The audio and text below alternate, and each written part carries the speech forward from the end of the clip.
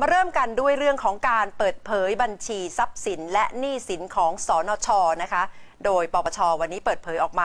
195 คน ถึงแม้ก่อนหน้านี้จะมีคำร้องขอของสอนช 28 คน ขอให้ยกเลิกมติของปปช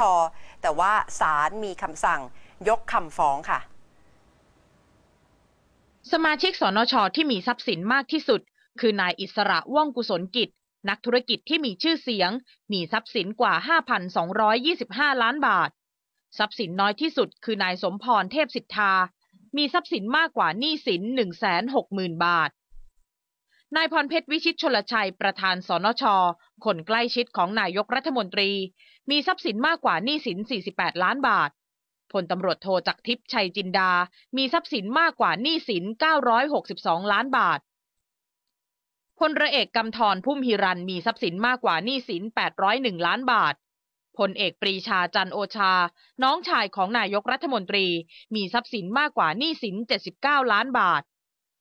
ขณะที่ 2 ใน 28 สนช ที่แสดงเจตนาคัดค้าน เช่นพลเอกนพดลอินทปัญญา พบว่ามีทรัพย์สินมากกว่าหนี้สิน 21 ล้านบาทพลตำรวจเอกพัชรวาดวงสุวรรณมีทรัพย์สินมากกว่าหนี้สิน 136 ล้านบาท ส่วนการยื่นแสดงรายการบัญชีทรัพย์สินและหนี้สินต่อปปชของคณะรัฐมนตรีประยุทธ์หนึ่งมีกำหนดภายในวันนี้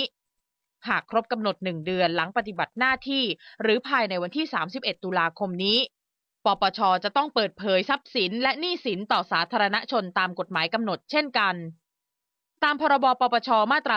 32 กำหนดให้ผู้ดำรงตำแหน่งทางการเมือง ต้องแสดงความบริสุทธิ์ใจ เปิดเผยความจริงว่าก่อนเข้ารับตำแหน่งมีทรัพย์สินใด รวมทั้งภรรยาและบุตรที่ยังไม่บรรลุนิติภาวะ เพื่อให้สังคมรับทราบถึงความโปร่งใส ว่าบุคคลนั้นมิได้เข้ามาแสวงหาผลประโยชน์ แต่หากผู้ดำรงตำแหน่งทางการเมืองไม่ปฏิบัติตาม ย่อมต้องรับโทษทางอาญาตามมาตรา 119 ของพรบนี้